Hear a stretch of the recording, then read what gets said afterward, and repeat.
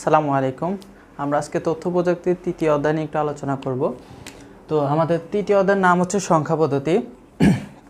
তো সংখ্যা পদ্ধতি আমরা কাকে বলি? তাহলে ফার্স্ট অফ হচ্ছে সংখ্যা পদ্ধতি হচ্ছে কোনো সংখ্যা লেখা এবং প্রকাশ করার পদ্ধতিকে বলা হচ্ছে সংখ্যা পদ্ধতি। তাহলে হচ্ছে সংখ্যা পদ্ধতির প্রধান হচ্ছে দুই প্রকার, যেটা হচ্ছে পজিশনাল আর হচ্ছে নন পজিশনাল পজিশন সংখ্যা পদ্ধতি মানে হচ্ছে যে সংখ্যা পদ্ধতিতে অবস্থান আছে, তাকে বলা হচ্ছে পজিশন সংখ্যা পদ্ধতি আর যে যে সংখ্যা পদ্ধতি অবস্থান নেই, তাকে বলা হচ্ছে নন পজিশন সংখ্যা পদ্ধতি তো নন পজিশন সংখ্যা পদ্ধতিতে আমরা উদাহরণ হিসেবে বলতে পারি রোমান এবং হচ্ছে হায়ারোগ্রিপিক্স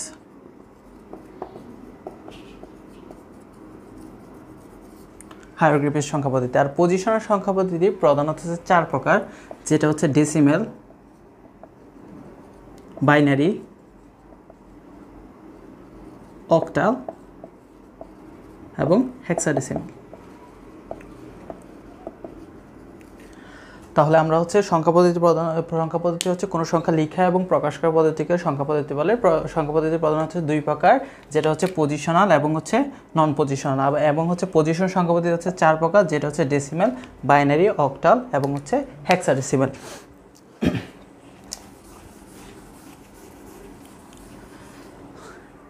ডেসিমেল সংখ্যা পদ্ধতিতে প্রকাশ করা হয় ডি দ্বারা। তাহলে ডি ফর হচ্ছে আমার ডেসিমেল আর ডেসিমেল সংখ্যা পদ্ধতির বেজ বা ভিত্তি আমরা যেটাই বলি না কেন বেজ এবং ভিত্তি হচ্ছে দশ, যার মান হচ্ছে হচ্ছে শূন্য থেকে নয় পর্যন্ত। তারপর হচ্ছে বি বি ফর হচ্ছে বাইনারি বাইনারি সংখ্যা পদ্ধতিতে প্রকাশ করা হয় বি দ্বারা। আর বাই মানে হচ্ছে দুই, তাই এটার বেস বা ভিত্তি হবে দুই, আর মান হবে শূন্য থেকে এক পর্যন্ত। তারপরে যদি আমরা চিন্তা করি ও ও ফর হচ্ছে অকটাল অকটাল মানে হচ্ছে অষ্টক, আমরা পড়ছিলাম ছোটোকালে। যে অকটাল মানে অষ্টক অষ্টক মানে আট, তাহলে এটার বেস বা ভিত্তি হবে আট, মান হবে শূন্য থেকে সাত পর্যন্ত। তারপর আমরা যদি এইচ এইচ পর হচ্ছে হেক্সাডেসিমেল আমরা জানব, আশা করি হ্যাক্সা মানে হচ্ছে ছয় আর ডেসিমেল মানে অলরেডি আমরা জানি যেটা দশ, তাহলে ছয় আর দশ হচ্ছে টোটাল হচ্ছে ষোলো। মান হচ্ছে প্রধানত শূন্য থেকে নয় পর্যন্ত, তারপর হচ্ছে এ থেকে এ পর্যন্ত। তাহলে এ থেকে এ পর্যন্ত হচ্ছে ছয়টা, শূন্য থেকে নয় পর্যন্ত দশটা টোটাল ষোলোটা। মান হচ্ছে টোটাল তাহলে আমরা বলতে পারি শূন্য থেকে এ পর্যন্ত। এখন এই যে বেজ বা ভিত্তি আমার যদি আসে যে বেজ বা ভিত্তি কাকে বলে, তাহলে বেজ বা ভিত্তি হচ্ছে কোনো সংখ্যা পদ্ধতি যতগুলো মান থাকে সেটা হচ্ছে তার বেজ বা ভিত্তি। তাহলে হচ্ছে আমাদের যদি প্রশ্ন আসে ডেসিমেলের বেজ বা ভিত্তি কত, তাহলে আমরা বলব দশ বাইনারি কত দুই, এবং হচ্ছে কি অক্টালের কত আট, এবং হচ্ছে কি হেক্সাডেসিমেল হচ্ছে ষোলো। এখন এই বেজ বা বৃত্তির উপর নির্ভর করে আমরা যদি আমরা একটু টু এর পাওয়ারের দিকে খেয়াল করি টু টু দেওয়ার জিরো মানে হচ্ছে ওয়ান টু টু দেওয়ার ওয়ান মানে হচ্ছে টু টু টু দেওয়ার টু মানে হচ্ছে ফোর টু টু দেওয়ার থ্রি মানে হচ্ছে এইট টু টু দেওয়ার ফোর মানে হচ্ছে সিক্সটিন টু টু দেওয়ার ফাইভ মানে হচ্ছে থার্টি টু টু টু দেওয়ার সিক্স মানে হচ্ছে sixty four two to seven মানে হচ্ছে one hundred twenty eight two to eight মানে হচ্ছে টু হান্ড্রেড ফিফটি সিক্স এরকম করতে করতে টু টু দেওয়ার সিক্সটিন মানে হচ্ছে পঁয়ষট্টি হাজার পাঁচশো ছত্রিশ। এখন আমরা যদি একটু খেয়াল করি, যেটা হচ্ছে বাইনারি বাইনারি পর্যন্ত আমরা পরে চিন্তা করি, আগে অক্টালে চিন্তা করি, যে অক্টালের মান হচ্ছে হচ্ছে বা বেস বা ভিত্তি হচ্ছে আট আট হচ্ছে টু এর পাওয়ার হচ্ছে থ্রি এর সাথে মিলতেছে। তাহলে হচ্ছে টু এর পাওয়ার উপরে কত আছে? থ্রি যেহেতু টু এর পাওয়ার উপরে থ্রি তাই হচ্ছে এটার বিট হবে থ্রি বিটস বিট কি জিনিস আমরা একটু পরে বলব। তাহলে বিট অক্টালে বিট যেহেতু আট আট হচ্ছে টু টু দেওয়ার থ্রি এর সাথে মিলতেছে, তাই এটা বিট হচ্ছে থ্রি বিটস তাহলে সেমভাবে বলা যায় হ্যাক্সাডেসিমেল মান হচ্ছে ষোলো, তাহলে টু টু দেওয়ার ফোর মানে হচ্ছে উপরে পাওয়ার যেহেতু ফোর তাই এটার বিট হচ্ছে ফোর বিটস এখন বিট তাহলে আমরা এখন যদি বাইনারি বিটের কথা চিন্তা করতে চাই, তাহলে বাইনারি মান হচ্ছে দুই, তাহলে সেটা কার সাথে মিলতেছে? টু এর পাওয়ার ওয়ানের সাথে। তাহলে আমরা বলতে পারি কি বাইনারি বিট কত? ওয়ান আসলে বাইনারি প্রতিটা মানই হচ্ছে এক একটা বিট তাহলে আমরা বিটের পূর্ণরূপ যদি লিখতে চাই, তাহলে বিট মানে হচ্ছে বাইনারি ডিজিট ইট আর বি মিলে হচ্ছে বিট। তাহলে বিটটা আসলে কী জিনিস? তাহলে আমরা যদি একটু চিন্তা করি বাইনারির প্রতিটা মান এক একটা মান হচ্ছে এক একটা বিট। বাইনারির মান কী কী হতে পারে? জিরো এবং ওয়ান। তাহলে বাইনারির প্রতিটা মান হচ্ছে এক একটা বিট।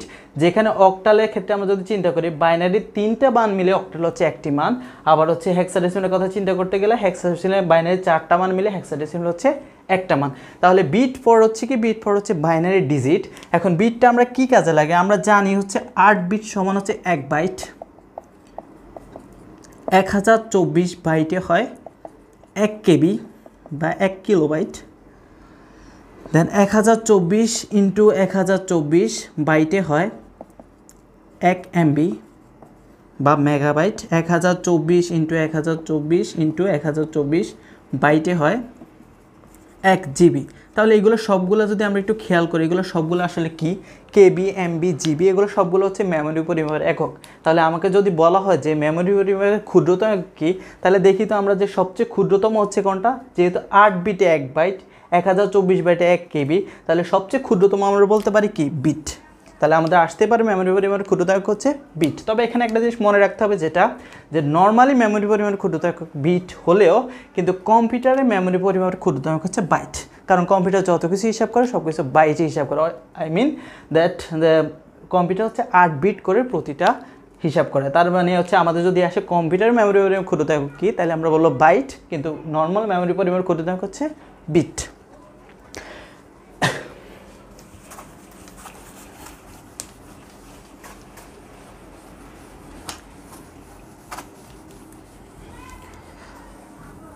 এখন আমরা অলরেডি জানছি যে হচ্ছে টু এর পাওয়ার অনুসারে আমরা বিট বাইট হিসাব করতে পারি।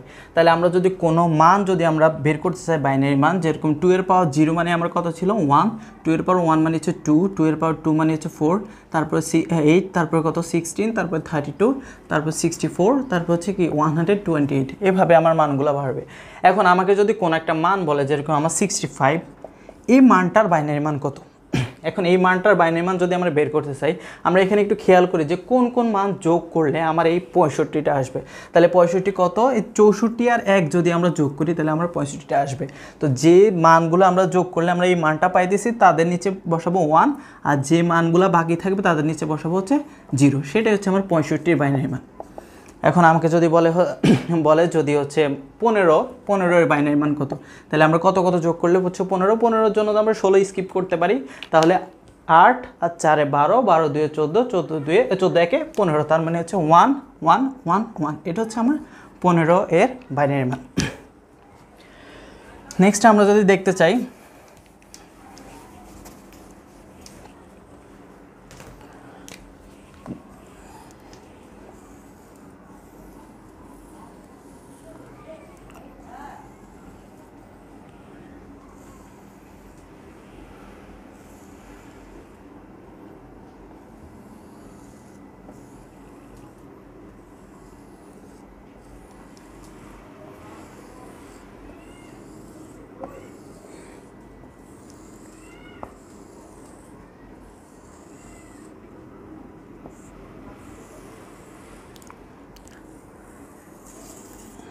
আমরা যদি পজিশন সংখ্যা পদ্ধতির মানগুলো দেখতে চাই, যেরকম ডেসিমাল সংখ্যা ডেসিমাল মানে হচ্ছে দশমিক বাইনারি মানে হচ্ছে বাইনারি সংখ্যা পদ্ধতি বা হচ্ছে অক্টাল বা হেক্সাডেসিমাল সংখ্যা পদ্ধতিগুলো, তাহলে ডেসিমাল বাইনারি অক্টাল হেক্সাডেসিমাল এই চার প্রকার হচ্ছে কি আমার পজিশন সংখ্যা পদ্ধতি। এখন ডেসিমালটা সংখ্যা পদ্ধতিকে আমরা যে সংখ্যা পদ্ধতিগুলো ইউজ করি সাধারণত যে one two three four five six seven eight nine ten বা কোনো যোগ বিয়োগের কাজ, এগুলো হচ্ছে ডেসিমাল সংখ্যা মানে আমরা যে সংখ্যা পদ্ধতিগুলো ইউজ করি, সেগুলো হচ্ছে আমার ডেসিমাল সংখ্যা আর বাইনারি সংখ্যা পদ্ধতি হচ্ছে কম্পিউটার সংখ্যা পদ্ধতি।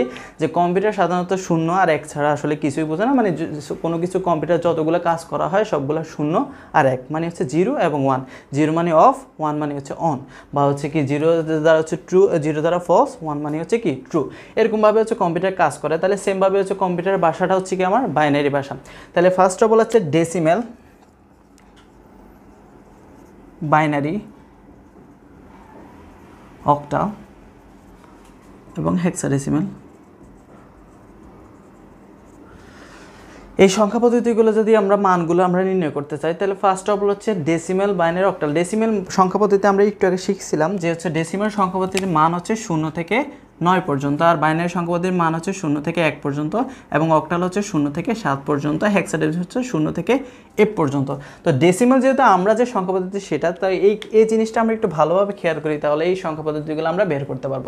তাহলে ফার্স্ট অফ অল হচ্ছে ডেসিমেল ডেসিমেলে আমরা সাধারণত লিখি কীভাবে? শূন্য, এক, দুই, তিন, চার, পাঁচ, ছয়, সাত, আট, নয় দশ, এগারো বারো, তেরো, চোদ্দ, পনেরো।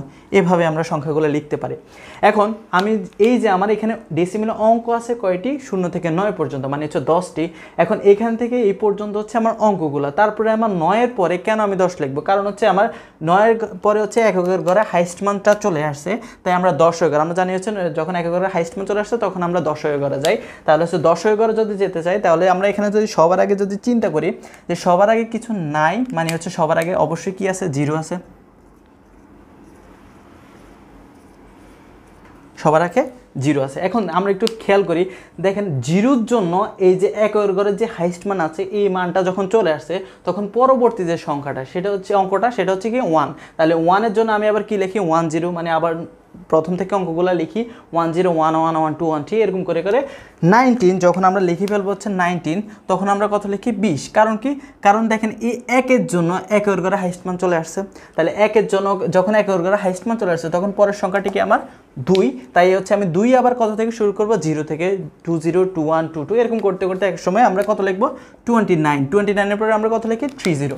তাহলে আমরা যদি একটু খেয়াল করি যে আমার যখন একের গড়া হাইস্ট মান চলে আসছে, তখন আমরা পরবর্তী সংখ্যা যাই। যেরকম আমরা যদি আমরা লিখি নাইনটি নাইন নাইনটি নাইনের পরবর্তী সংখ্যাটি কত? আমরা জানি যে একের গড়ে যখন হাইস্ট মান চলে আসছে, দশের গড়ে যখন হাইস্ট মান চলে আসছে, তখন পরবর্তী সংখ্যাটি আমরা লিখি কত? একশো। তাহলে সেমভাবে কি বলা যায় যে যখন আমার একের গড়ে হাইস্ট মান মানে নয় যখন নয়ের সাথে হচ্ছে নয় এই অঙ্কগুলো যখন হাইস্ট মান চলে আসছে, তখন একের ঘরে আমরা হাইস্ট মান পেলাম দশ ঘরে হাইস্ট মান পেলাম, তাহলে আমরা কত কার ঘরে যাব? শত ঘরে। তাহলে একের পরে কত লিখবে? একশো। আচ্ছা। তারপরে আমরা যদি আমরা দেখি যে নাইন নাইন নাইন তিনটা নয়ের পরে আমরা কত লিখব? অবশ্যই যেহেতু এক ঘরে হাইস্ট মান দশ হাইস্ট মান শতক হাইস্ট মান তাহলে আমরা কত লিখব? এক হাজার। তাহলে এই জিনিসটা যদি আমরা বুঝে থাকি, তাহলে বাইনারি ক্ষেত্রে আমরা একটু যদি চিন্তা করি যে এটার ক্ষেত্রে হাইস্ট মানটা ছিল আমার নয়, তাই আমি নয় পর্যন্ত গিয়েছি। কিন্তু আমার এইখানে বাইনারি ক্ষেত্রে হাইস্ট মান হচ্ছে ওয়ান তাহলে বাইনারির ক্ষেত্রে যেহেতু হাইস্ট মান ওয়ান তাহলে আমি কত থেকে শূন্য লিখলাম? এক লিখলাম। এখন এক লেখার পর দেখেন এক ঘরে আমার হাইস্ট মান চলে আসছে, কারণ হচ্ছে বাইনারি হাইস্ট মান হচ্ছে আমার ওয়ান তাহলে যেহেতু বাইনারি মান হাইস্ট মান ওয়ান তাই এক ঘরে হাইস্ট মান চলে আসছে, তাহলে পরের সংখ্যাটি আমরা অবশ্যই কত লিখব? দশ।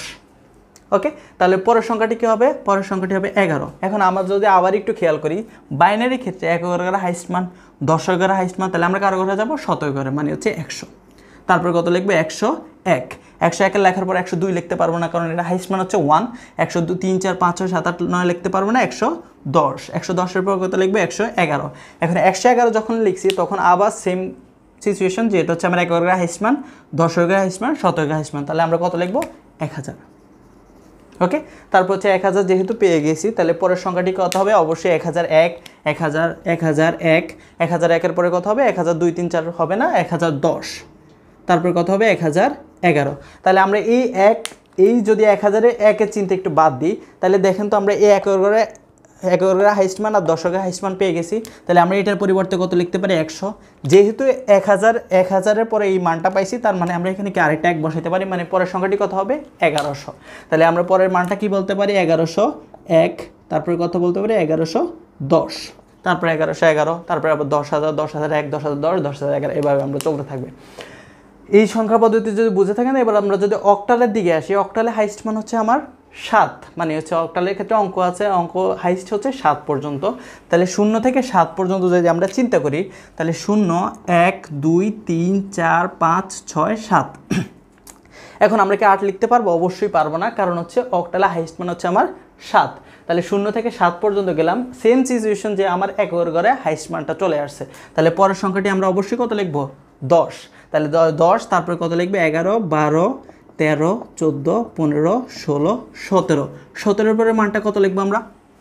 যদি আমরা যদি জানতে চাই যে অক্টালে সতেরোর পরে মানটি কত, অবশ্যই একের জন্য এক হাইস্ট মান চলে আসছে। পরের সংখ্যাটি হবে কত?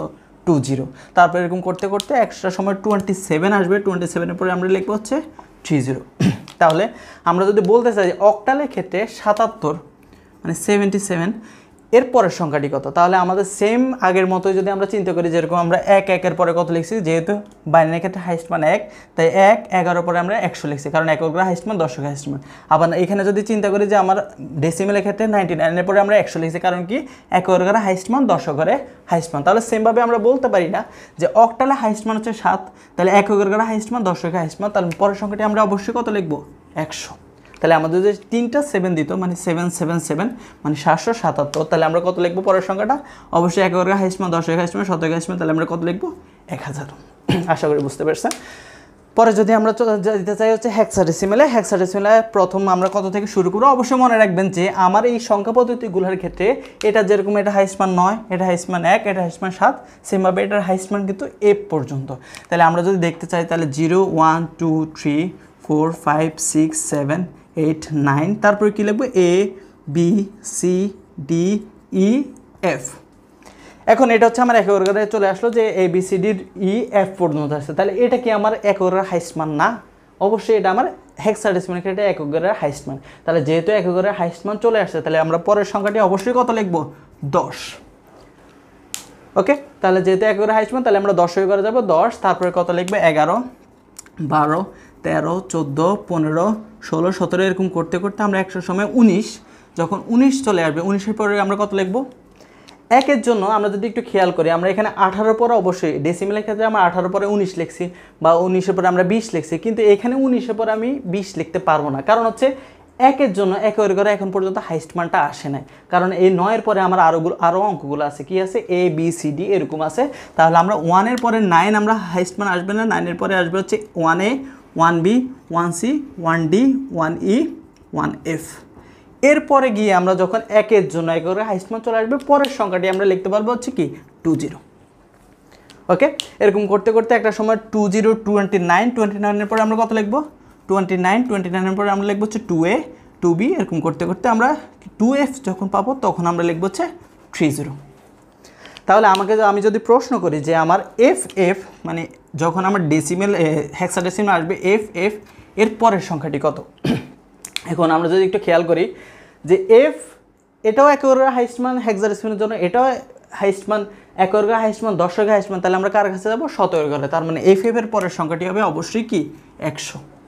তারপরে একশো এক, একশো দুই, একশো তিন, এভাবে চলতে থাকবে। এখন আমাদের তিনটা এফ থাকতো। এফ এফ এফ তাহলে আমরা কত লিখব? এক হাজার অবশ্যই, কারণ কি এক অর্গের হাইস্টমান দশ অর্গের হাইস্টমান শতক হাইস্টমান আমাদের আগের কনসেপ্টের মতোই। তো আশা করি আপনাদের ভিডিওটি ভালো লাগছে। অবশ্যই হচ্ছে চ্যানেলটি সাবস্ক্রাইব করবেন, আর হচ্ছে অবশ্যই বেল বেল বাটনে ক্লিক করবেন।